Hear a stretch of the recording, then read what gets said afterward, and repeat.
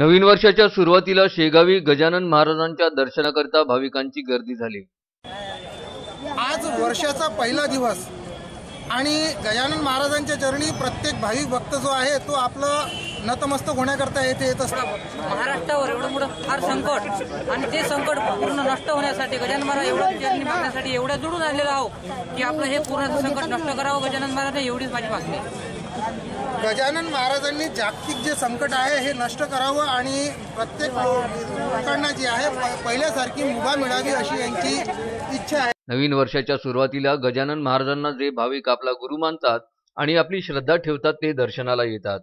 आणि नवीन वर्ष आनंदी भरभराटीचे सुखसमृद्धीचे जाओ या दृष्टीने महाराजांचे दर्शन घेऊन आपापल्या घरी परततात.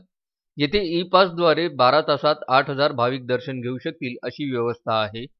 गजानन महाराज संस्थांद्वारा भाविकांना कोणताही त्रास होऊ नये या दृष्टीने जागोजागी हात धुण्याची व्यवस्था आणि सोशल डिस्टन्सिंग पाळत दर्शनाची सोय करण्यात आली आहे.